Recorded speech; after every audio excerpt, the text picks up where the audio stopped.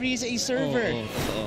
Pero ito, na nakuhanan pa sila ng ace. Another good serve from Tayag. Tulang from the middle. But that's the quick they were talking about, John Vic. Yun yung instruction ni Coach during the timeout. And naging effective para dito sa Lyceum at nakuha nila ang second set. Panapos para sa LPU Lady Pirates courtesy of Jaja Tulang who also reaches double figures with 10 points for LPU.